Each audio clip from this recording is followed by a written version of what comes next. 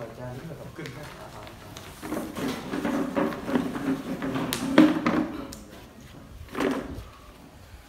Cúi xin Chúa sáng soi cho chúng con được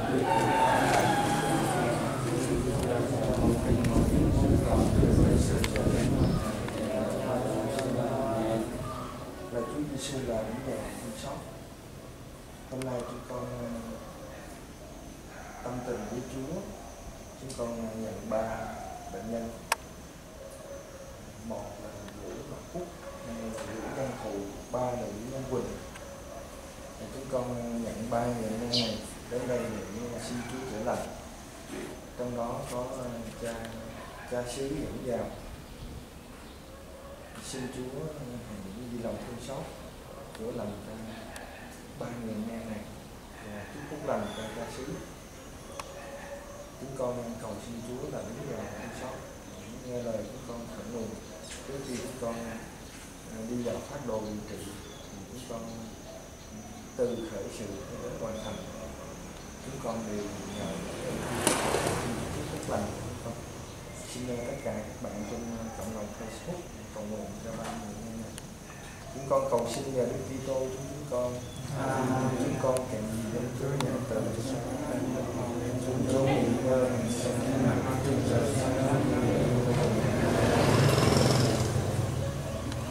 xin mời cha ngồi xin mời mọi người ngồi tất cả thủ tục ờ, cái thầy đã làm xong hết rồi tức là người dẫn người nuôi cái này rồi còn câu giờ đó hết rồi đấy à, kính thưa cha à, hôm nay cha dẫn ba ba người anh em đến đây được gọi là ba con chim ba con chim của cha chúng con à, rất là vui mừng để đón tiếp cũng như là đón tiếp ba bệnh nhân đến đây để lành à, chúng con cũng nói lại một cái quy tắc để mà nhận bệnh nhân đó. Thì à, do vậy ở đây à, chúng con à, không được phép quy tụ à, tất cả những con chim. Vì thế mà à, hôm nay cha có mặt ở đây đó là do cái quyết định của tổng là không cho phép con quy tụ con chim. Thành thử ra à, À, chúng con có được phép trị bệnh. Nếu như người con giáo nào mà được trị bệnh thì phải có cha xứ dẫn đó là nguyên tắc mà vào cái mục kiểm lâm đã đưa ra. Ký ngày 23 tháng 5 2011 cấm ra quy tụ hộ dung bằng hộ kích Nghĩ ra, hôm nay cha có mặt ở đây thì à, thì nó có lại đó là do phòng của Vĩnh Long ra quyết định. Ra à, con nói lý do mình đang ngồi ở đây thì à, và sắp tới đây thì à, ngày 1 tháng 1 năm 2019 thì à, Đức cho một lý do là các linh mục không chịu. Ví dụ như cha dẫn về ban con tiên này mà còn rất nhiều họ các linh mục không chịu vậy thì bây giờ là các công ty phải đề nghị lên cấp cao hơn. Đó là các giám mục phải dẫn về do vậy các giám mục đưa ra lý do là bận việc nhiều quá, không dẫn được. Thì giám mục bớt việc thì giám mục phải dẫn về rồi nếu giám mục không dẫn về nữa thì tụi con sẽ lên 3 tháng nữa là được. Nếu đức không đi hướng dẫn thì chúng con lên 3 tháng nữa là tính kế hoạch. Thì à, đây là một cái lý do mà hôm qua chúng con mới trả lời trên cộng đồng mạng à, cụ thể là cho cha du xe Nguyễn Duy Tân. Đã dẫn con chim đến đây, thì con đã trả lời xong rồi. Thì hy vọng rằng là nếu cha có thời gian, cha coi lại cái clip đó, thì cha sẽ hiểu lý do mà tại sao phải đưa tính cách như vậy thì hôm nay mình ờ, không nhắc lại đó nữa tại vì đã nói rồi. Chỉ nói sơ qua là lý do cha dẫn ba con chim về đây là do toàn những Vĩnh Long không cho phép quy tụ thì như vậy tụi con không quy tụ được người không dám chữa bệnh mà bệnh này là bệnh nan y nếu không quy tụ được họ họ sẽ bệnh chết chữa được không thể nào đứng nhìn họ vậy thì à, chúng con nói với cha về cái cái nguyên tắc đó để cho cha hiểu được để à, cha vui vẻ, ha. À. vui vẻ. Sau này nếu có con chiên nữa, cha dẫn đi nữa. Nhưng đến ngày 1 tháng 1 năm 2019 thì cha hết dẫn, hết phiên tức là hết phiên thầy cười ha hết phim để dạy. Vậy thì từ, từ đây tới đó cha hãy cố gắng cha cha làm người Samaritano nhân hậu là thấy một người đau bệnh. Cha hãy cố gắng làm người Samari hay là làm một tử nhân lành thí mạng người chim thực ra thì cha cũng đã từ từ bùi chu giáo phận bùi chu cha là giáo phận bùi chu Vâng từ giáo phận bùi chu mà đây là tới đây cha sẽ vượt hàng ngàn cây số. Đi ba bốn chặng xe ít nhất là đi 120 cây số mới tới sân bay nội bài. Rồi leo lên máy bay một đổi nữa. Đó, lên trên không gian đi một đổi nữa. Rồi mới tuột xuống đất. Lên đường cao tốc đi đổi nữa rồi mới tuột xuống đất đi đổi nữa rồi mới tới đây. Có nghĩa là cái cái cái khoảng đường đi với cha rất là xa xăm. Mà đi với ba bệnh nhân và giả dụ như mà trên cái quãng đường đi đó mà lỡ có sự cố chết thì tôi cũng hiếm mạng, thí mạng sống vì ba cái chuyện này. Vậy thì rõ ràng là cho đang thực thi lời dạy Chúa là thí mạng sống của mình vì đó đây là một cái nghĩa cử thôi. Mình không dùng từ căn mà cái nghĩa cử này là là cái lời dạy. Ngày hôm qua thì không biết cha làm như thế nào, nhưng mà ngày hôm nay mà cha có mặt ở đây với ba con chiên của cha thì rõ ràng đây là cha đang được thi lời dạy cái nhà khi còn tại thế này dạy cho rõ ràng đó là điều mà chúng con rất là kính trọng cha và chúc mừng cha à, làm được công việc tốt này. Và để đền đáp công ơn đó bằng cách là đãi bữa ăn. Đãi bữa cơm là đền đáp công ơn cho cha được không? nên sau khi chúng ta nhận bệnh xong thì mời cha đến dùng bữa cơm.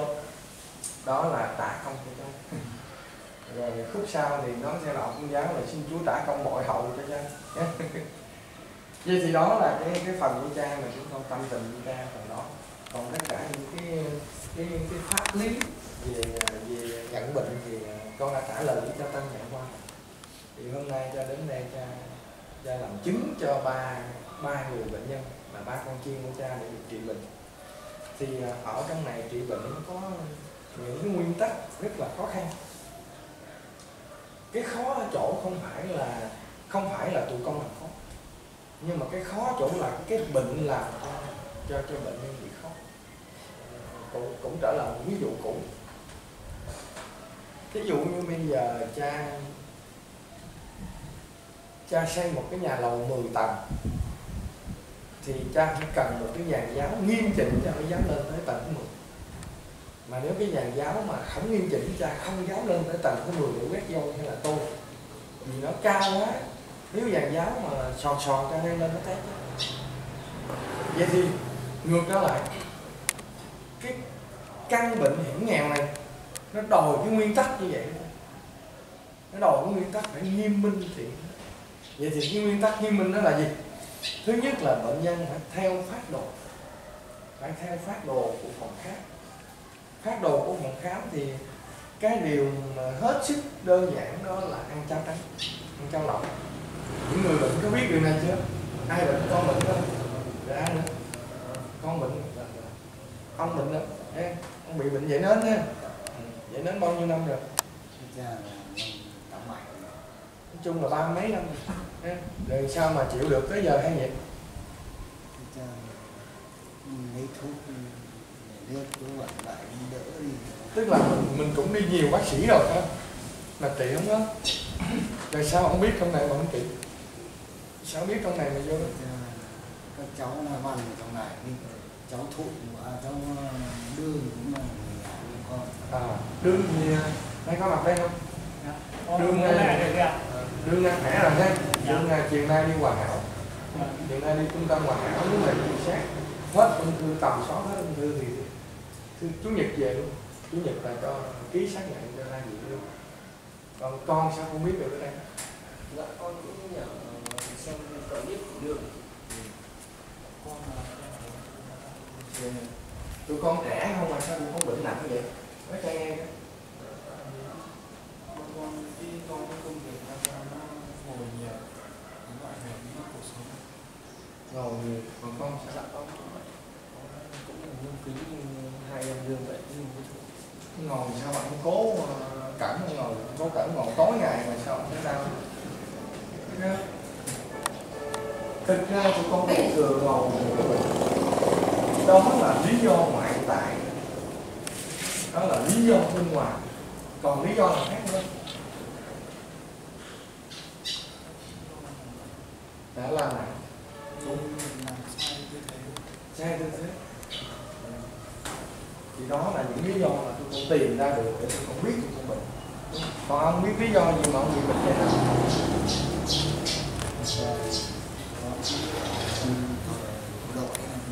giờ mình ví dụ thôi nha. Ví dụ như ông đang bị vậy nữa mà ví dụ ông ăn cá biển vô có ngứa không?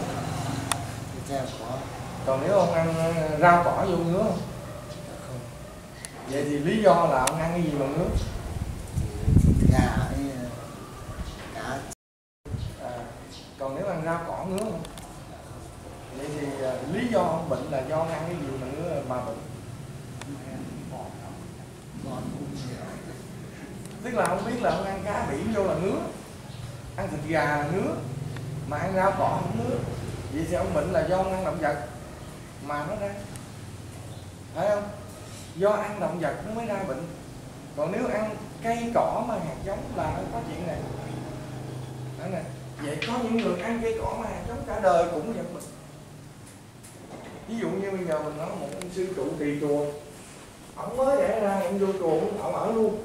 Ủa như vậy thì ông, ông cũng bệnh được mà nó ông cỏ nó sao ông cũng bệnh? Được cứ bởi vì cái chủng tử của ông đã là cái chủng tử bệnh chủng tử của ông là cái tinh trùng của ba mẹ ông là tinh trùng của động vật. Cho nên bắt buộc phải cái mầm bệnh. Vậy thì ông nhận ra được lý do ông ăn động vật cho nên ông mới bệnh đó là nếu ông ăn ăn chay là ông không bệnh nó theo kiểu của đạo Phật là ăn trai ăn mạng đó còn nói theo đạo cao đài là ăn thanh ăn trượt ăn thanh tức là ăn sạch ăn trượt là ăn dơ ăn trai là ăn ăn, ăn, ăn, ăn, ăn rau cỏ còn ăn mặn là ăn con động vật mặn sống. Còn nếu nói theo đạo chúa mình thì ăn tự tự do nhưng không có tự do chúa đâu có cho mình ăn tự do chúa cho mình ăn cây cỏ mà hạt giống. Vậy nếu như cái bệnh của ông mà ăn cây cỏ mà hạt giống thì ông đâu có bị đau nữa kể cả bệnh của tụi con. Cái lý do tụi con tìm ra là do tôi ngồi sai tư thế hay tôi ngồi nhiều. Đó là lý do nội tại. Nhưng nó còn một lý do nội tại mà nó làm cho cơ thể của tụi con bệnh tật, hay là suy yếu một cơ quan chức năng của nó là do tụi con ăn thức ăn không nano. Thức ăn không nano là thức ăn động vật, nha thức ăn động vật mà ngay từ khi tạo thành vũ trụ, thiên chúa là cản mình không cho mình ăn đó. Chúa đã cản không cho mình ăn đó. Nhưng mà con người sau khi tổ tông ta phạm tội rồi, thì từ đó trở đi là con người hỏi ở trong sách giáo lý và thánh công giáo dạy mình rất là rõ. Hỏi ngoài sự sống tự nhiên Chúa còn ban cho ông bà những đặc ăn gì nữa không? Đó. Sự sống tự nhiên là sự sống gì? Là Adam, hay già hết mọi trái cây trong vườn các ngươi được ăn. Từ một cái loại ta cấm các ngươi không được ăn. Mà nếu các ngày nào các ngươi ăn nó, các ngươi sẽ phải chết. Nghe chỗ này cha có giảng một thánh chỉ ở tại núi rừng tây nguyên, thánh chỉ một cha giảng rất là rõ hy vọng mai này cha có dịp cho coi lại thánh chỉ đó để cha hiểu được cái lý do tại sao mà mình không ăn vậy nha. Rồi ở trong sách ờ, à, ở, miền Nam gọi là sách thần không biết là ở ngoài Bắc gọi là sách gì mà chắc ờ, gọi chung là sách giáo lý Tân Định hay là sách hỏi thưa hỏi từ câu từ câu hỏi ta sống ở đời này để làm gì? Rồi trong đó nó có một câu hỏi ngoài sự sống tự nhiên Chúa còn ban cho hai ông bà một cái sự sống nào khác nữa không? Thưa Chúa ban cho hai ông bà sự sống siêu nhiên. Bây giờ sự sống tự nhiên là gì? Ta ban cho các ngươi mọi thứ cỏ mang hạt giống và mọi thứ cây có trái mang hạt giống làm lương thực cho các ngươi. Đó là sự sống tự nhiên. Khi hai ông bà hưởng cái sự sống tự nhiên này, thì Chúa lại cấp thêm một cái sự sống siêu nhiên nữa là sự sống gì? Tụi con phụ giáo lý đó chưa? Ở đây ai thuộc là cho thưởng cho một cái phần quà 10 triệu trừ cho sứ ra thôi nha. Cho sứ không lấy lụm cho 10 triệu uổng á sự sống siêu nhiên là gì? Trời ơi, người công giáo không chết luôn. Nói rồi con còn gì nữa? Sự sống siêu nhiên là nghe trí khôn minh mẫn, ý chí hướng về điều lành không phải đau khổ và không phải chết. Đó là sự sống siêu nhiên mà Chúa ban cho hai ông bà. Khi hai ông bà hưởng được cái giường địa đàng mà Chúa ban là sự sống tự, tự nhiên là hết mọi trái cây trong giường các ngươi được ăn. Rồi hai ông bà giờ đây phải đặt tên cho từng con động vật một để mà vui sống với nó. Động vật thờ Chúa có cách của nó. Con người thờ Chúa theo kiểu con người cây cỏ, thờ Chúa theo kiểu cây cỏ. Thánh Phaolô nói, mọi vật ngóng ngóng đợi chờ ngày Chúa cứu cứu độ.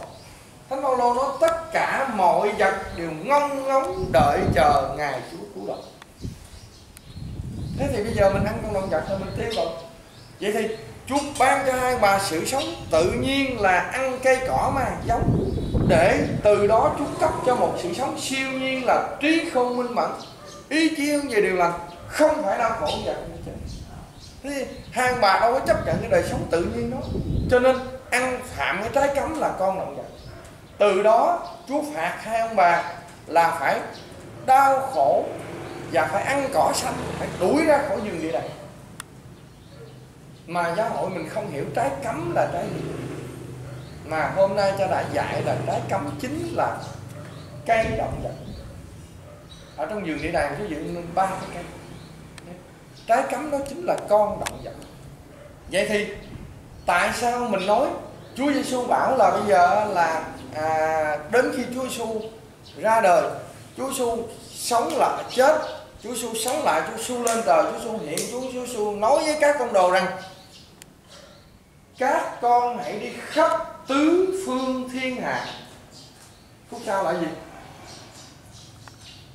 Nói cho nghe loan báo tin mừng cho mọi loài. Thụ thụ tạo. Vậy thì, con người mình là loài gì? Con động vật là loài gì? Loài thụ thụ tạo. Cây cỏ là loài thọ thọ mọi loài thọ tạo. Vậy chú có biểu mình ăn động vật không? Chú đâu biểu mình ăn động vật? Nhưng mà Chúa không biểu mình ăn động vật thì Chúa biểu mình ăn cái gì? Đây ta ban cho các ngươi mọi thứ cỏ mang hạt giống và mọi thứ cây có trái mang hạt giống làm lương thực cho các ngươi. Rõ ràng nhé cha nói giáo lý này là giáo lý căn bản của người công giáo. Nếu như giáo hội không nhận ra được chỗ này thì giáo hội mãi mãi không giải quyết được cuộc đời của người Kitô. Không giải quyết được cuộc đời người mà tại sao cho trị bệnh được là bởi vì cho nhận ra chỗ này? Chỗ này là cái cái chìa khóa để mở cửa thiên đàng cho mọi người bước vào nhà Chúa. Khi Chúa Giêsu sống lại, Chúa Giêsu hiện xuống, Chúa Giêsu nói, anh em hãy đi khắp tứ phương thiên hạ, loan báo tin mừng cho mọi loài thọ tạo. Chúa Giêsu có biểu an động vật không nhưng mà khi Chúa Giêsu bảo loan báo tin mừng cho mọi loài, có nghĩa là Chúa Giêsu bảo mày không được ăn động vật, mà mày không được ăn ăn động vật là mày phải ăn cây cỏ mà hả? Hạt giống. Năm 2015 Đức Thánh Cha Francisco hiện tại bây giờ, ngài ban một cái thông điệp gọi là Laudato Si. Thông điệp là bảo vệ sự sự sống. Đức Thánh Cha Francisco bảo tất cả mọi người tín hữu là phải bảo vệ động vật, phải chăm sóc cho động vật và phải cho nó có đường đi của nó. Mà ông không biểu ăn gì. Vậy ai biết ăn gì? Nó thưa Đức Thánh Cha. Đức Thánh Cha biểu con bảo vệ động vật, Bảo vệ tạo vật Cho nó có đường đi của nó, con làm được đó. Mà Đức Thánh Cha không biểu con ăn cái gì Thì con con ăn cái gì có sống Đức Thánh Cha biểu mình bảo vệ tạo vật. Laudato Si là thông điệp mà Ngài đã ban hành năm 2015 không? Ngài ban hành thông điệp đó. Xong rồi ngài ban hành ngài bảo tất cả mọi người kia tôi hữu là phải bảo vệ tạo vật, phải cho nó có đường đi của nó. Nhưng mà thưa đức thánh cha, đức thánh cha biểu con bảo vệ tạo vật, con bảo vệ được đó. Đức thánh cha là cha của con con bảo vệ được. Nhưng mà con bảo vệ tạo vật, đồng nghĩa là con không ăn nó. Vậy con ăn cái gì? Ăn sống đức thánh cha đâu có chỉ ra cây cỏ mà. Vậy thì cái điều mà đức thánh cha bảo bảo vệ tạo vật nó đi vào con xó bếp nữa. Không giá trị. Giống như đức phật ngày xưa. Đức phật bảo các tỳ kheo này, không được sát sanh hại vật. Mà không nói ăn gì trơn này ai biết gì hết. Đức phật bảo con không sát sanh hại vật thì con không sát sanh đó. Nhưng mà con ăn cái gì? Còn đức chúa trời nói rất là rõ. Đây ta ban cho các ngươi mọi thứ cỏ mang hàng giống. Đúng không nè? Và mọi thứ cây có trái mang hàng giống làm lương thực cho các ngươi. Đến thời Chúa Giêsu Chúa Giêsu nói khi thầy đi rồi thì các tông đồ mới ăn chay. Và Chúa phán cho các tông đồ, các con đi rao giảng tin mừng cho mọi loài họ tạo. Chúa Giêsu đâu có biểu mình ăn mừng vậy. Áp dụng vào lời Chúa, cụ thể như được vậy, tụi con ăn động vật tụi con mới bệnh. Mà ngay chỗ này giáo hội công giáo dạy, chưa tới. Trong sách giáo lý hội thánh công giáo chưa có chỗ này. Và cũng chính vì cái chỗ cha phêrô nguyễn Dương tường bị phạt dạ tiền, không tiền kết cho thấy đó cái mấu chốt ngay chỗ này. Và nếu cái mấu chốt ngay chỗ này mà cha tường sai, thì ngày hôm nay cha tường không chữa bệnh ung thư được. Tại sao vậy? Tại vì cha từng lấy cái lời chúa ra, cha từng chữa ung thư chứ, cha từng đâu có lấy cái tài năng hay là lấy cái đức độ hay là hay là lấy cái thuốc men của thế giới. Cha từng chữa. Cha từng lấy lời chúa ra để chữa bệnh ung thư cho mọi người. Và nói gần hơn, kết quả hay không là vũ văn đương ngày mai đi khám bệnh. Phải không? Giống như cha xứ nãy nói là một là tao ký cho mày giấy vô để chữa bệnh hay là tao ký cho mày điếu văn đó nè nếu mày nhận mày nhận cái giấy này là mày vô đây mày chữa bệnh còn nếu không mà mày, tao phải làm cho mày tan lễ. Nọ rõ ràng, do bởi cho lấy lời chúa ra cho chữa bệnh chứ không phải là cha có tài năng nãy cho, nãy giờ cho lập luận, từ tạo dựng cho đến Chúa xu hiện, xuống lên trời. Chúa xu ban rõ ràng.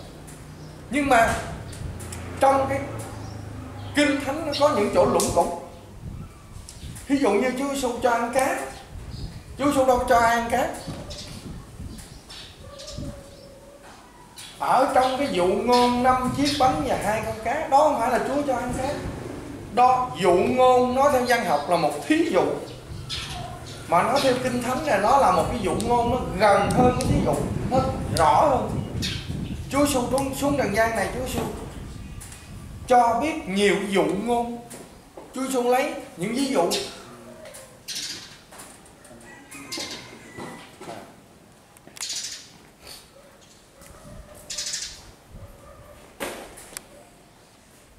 Chúa Giêsu cho thấy mình nhiều ví dụ.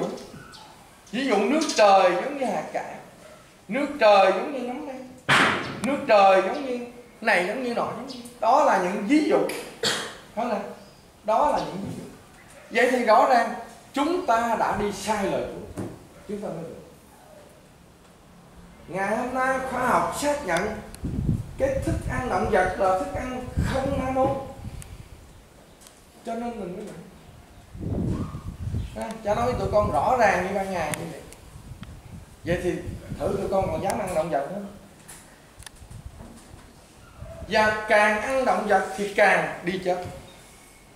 Càng ăn động vật là càng đi chết không sống được.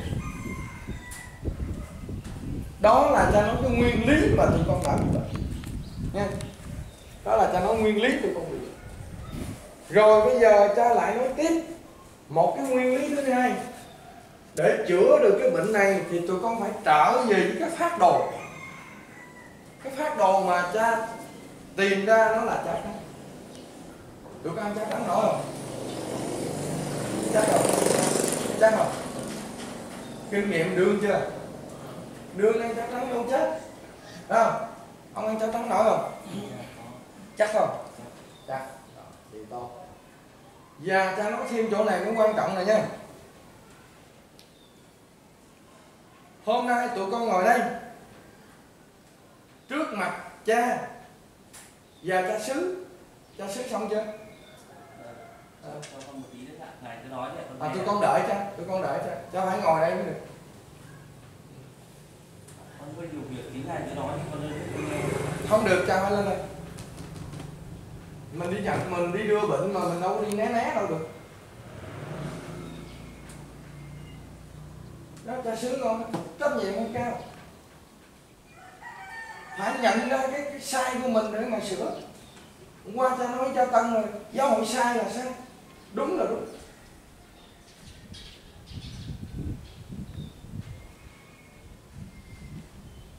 cha khó lắm. Nhưng mà cha cũng dễ.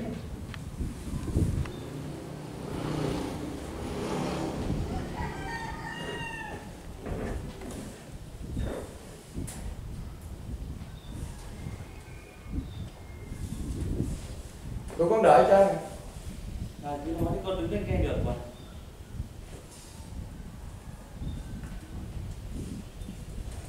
Con đang trả lời mấy việc cần tí ngài cứ nói con nghe được.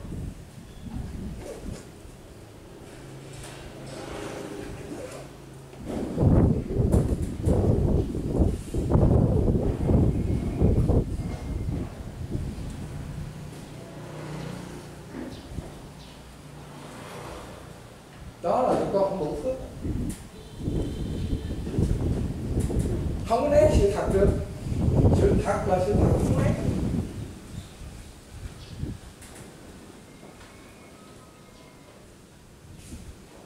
Như vậy, hỏi lý do sao cha không đưa lên tới cái mục? Hôm nay cha còn tiếp cha xứ con là vui đó. Tháng sau đức giám mục của giáo phận mùa chung ngồi đây là cha mời mấy anh thầy viện cảnh này ngồi dạy trong bài học cây cỏ còn mới chữa bệnh. Chứ cha không tiếc nữa hôm nay cha tiếp là cha sợ con mừng đi. Mà cha không tiếp là tụi con đi chết. Mà tụi con đi chết rồi cha sợ con có sống nghe không? Một là linh mục quản xứ, hai là linh mục bỏ xứ. Chọn phải chọn phương án nào? Mình lo cho con chim của mình mà.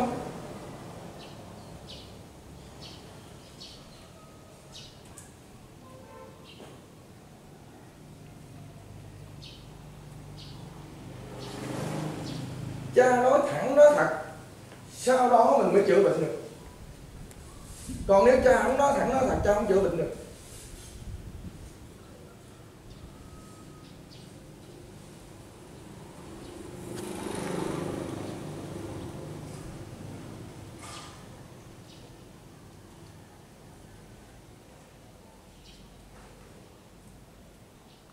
giáo lý thì không hiểu gì hết đạo hạnh thì không có cứ nhậu nhẹt mãi rồi, sẽ- rồi dạy ai nên người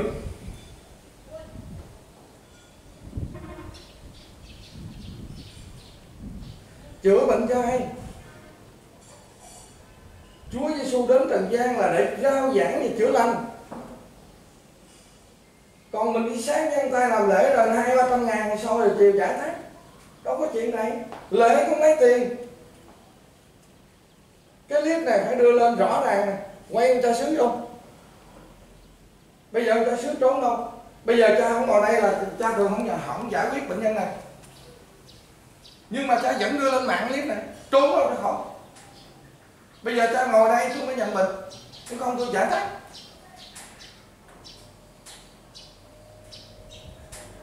rồi cái clip này phải lên mạng nè, để cho thế giới nó coi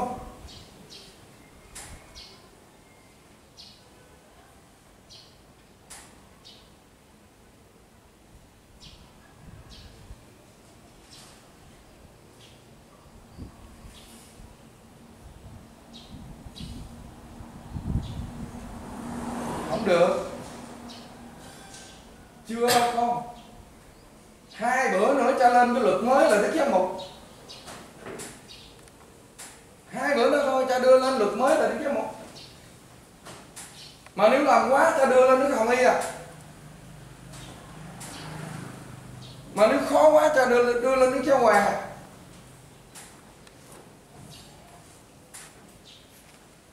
ở đây cha chữa bệnh cha phải làm rõ vấn đề.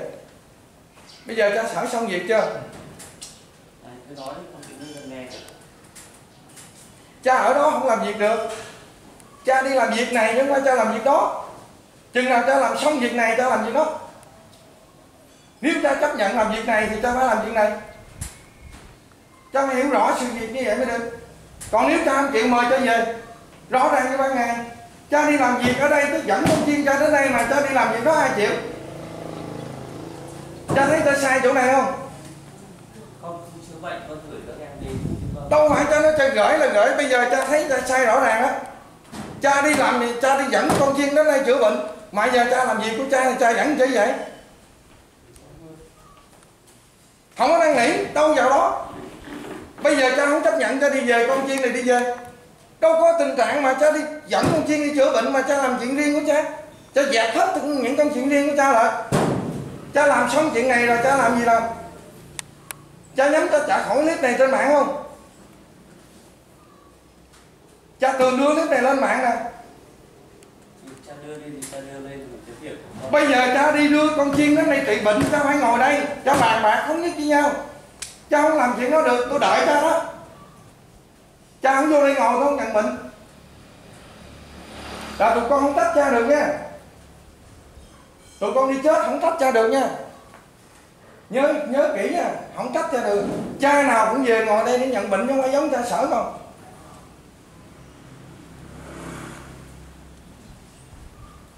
cái clip này hãy đưa lên là cha trốn đâu con khỏi nữa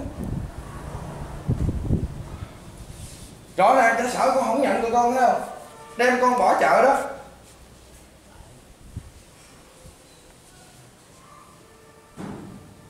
Không tách cha được nha.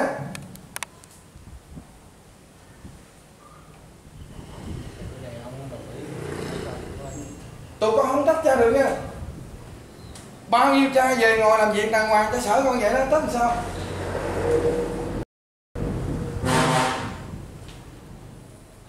Con có tách cha được không?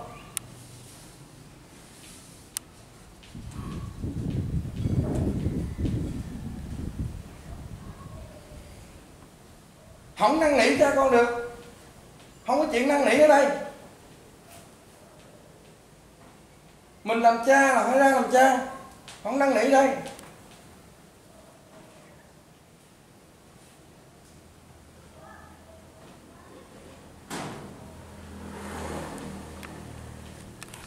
Cha sợ như vậy đó. Giờ không biết đường đi luôn. Đi đâu nữa? Cửa đóng rồi đi đâu nữa ai ký giấy cho con đây. Ai dám chữa bệnh cho con? Chữa bệnh cho con phải nghiệm thưa cha không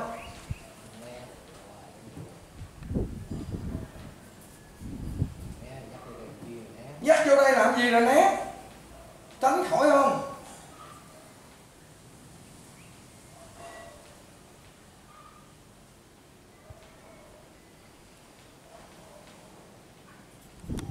mình làm cha, mình phải ngồi lại, mình bàn bạc với nhau rồi, cha ơi, cha nói vậy vậy vậy vậy. Giờ ông đi vậy giống nít thôi. Tệ ông nít ờ, cha sợ gì đây vậy cha không nhận bệnh đâu con nha. Rồi thôi, đứng lên đọc kinh, phải. Không được kiếm cha. Cái họ đạo này vĩnh viễn không được tới đây nha. Vĩnh viễn luôn. Nhân danh cha và con và thánh thần, amen. Sáng danh đức chúa cha và đức chúa con và đức chúa thánh thần. Chúng con gây gì? Danh chúa nhân từ cho các bạn linh hồn lên chốn nghỉ ngơi hàng sang thế mặt đức chúa trời sáng láng như vậy vô cùng cha thông báo lần cuối cùng họ đạo này vĩnh viễn cha cẩn vĩnh viễn không được đó này. rồi tụi con đi về. Đó là tại cha xứ con. Nhưng mà tại cha, không có xin xỏ thưa kiện gì đây. Cha xứ mày làm vậy mày xin gì? Mày xin gì đấy cái đó là phải tại cha không? Cầu cái gì? Ta đang chữa bệnh mà cầu gì? Đó đâu phải tại trái mình đưa con chiên mình vô làm việc, mình dẹp hết cái điện thoại chứ đâu có lý nào mà mình móc điện thoại ra mình nói ôm sòm. Vô vô công ty xí nghiệp người ta là mình đừng nói ôm sòm vậy sao? Thôi, mời tụi con về, tụi con không buồn cha được nha. Về, xử cho sướng con đi. Đó, cha không có lỗi chỗ này. Mà cha đưa cái clip này lên mạng cho coi nè để cho thấy các ông cha sướng như vậy á, làm có nên làm cha nữa không? Rồi phải chào nhé chúc mọi người mạnh khỏe. Mở cửa, mời mọi người về. Mời các sướng về. Không được gặp cha, vĩnh viễn không được gặp cha.